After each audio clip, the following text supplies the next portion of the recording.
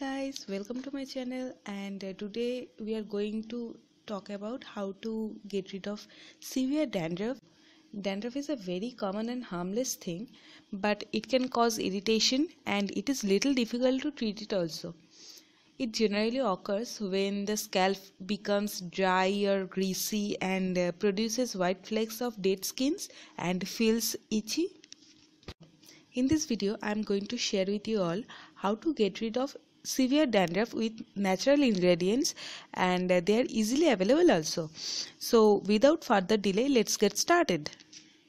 At first, you will need 1 tablespoon of salt.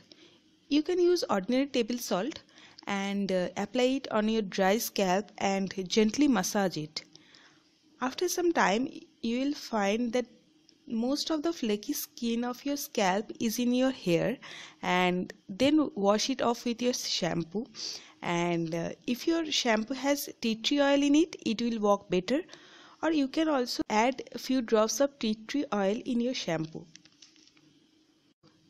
After washing your hair take some lemon juice and mix it with uh, some water. Uh, take it in uh, 1 is to 4 ratio and rinse your hair with it.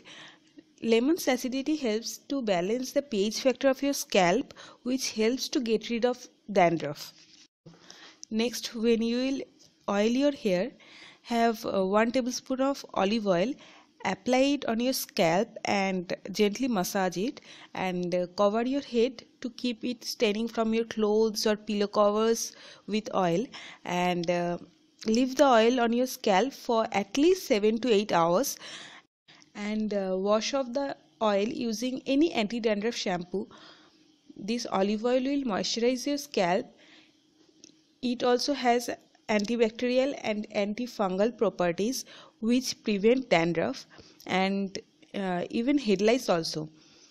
Uh, and it is full of antioxidants that keep the scalp healthy and its fatty acid makes the hair super silky and shiny. If you want to know more properties of olive oil or uh, different ways of using olive oil on your hair and skin you can ask me in the comment section below and i'll definitely do videos on that